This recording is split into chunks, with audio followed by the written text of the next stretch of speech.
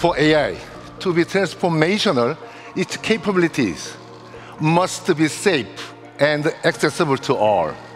That is our goal at Samsung, to bring AI to millions around the world, to make it work for you, to make it work for all.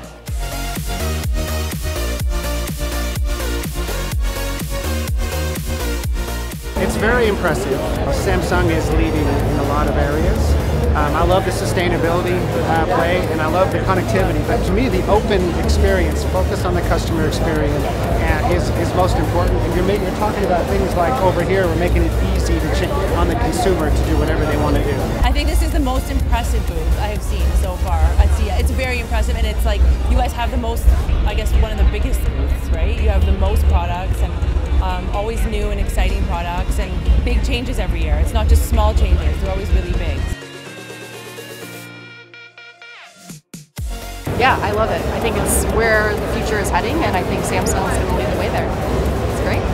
So the fact that they're getting into more into AI is very intriguing. I'd love to see more of the handheld devices and how you interact with it, but it's a very exciting time for sure.